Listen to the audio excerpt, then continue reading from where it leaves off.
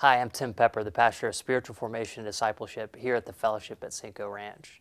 It has been really exciting to see all of the new people who have walked through the doors here over the last year. In Life University, we have designed a Bible study specifically for you. So if you've been new to the fellowship or you're interested in joining the fellowship, or maybe you've even just committed your life to Jesus Christ or recommitted your life to Him, beginning the journey is just for you.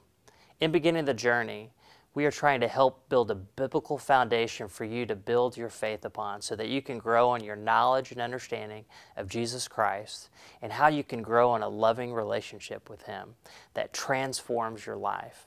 So I hope you'll join me starting October 4th over on the Fellowship West Campus, the YMCA, during the second service on Sunday mornings. I look forward to starting the journey with you soon.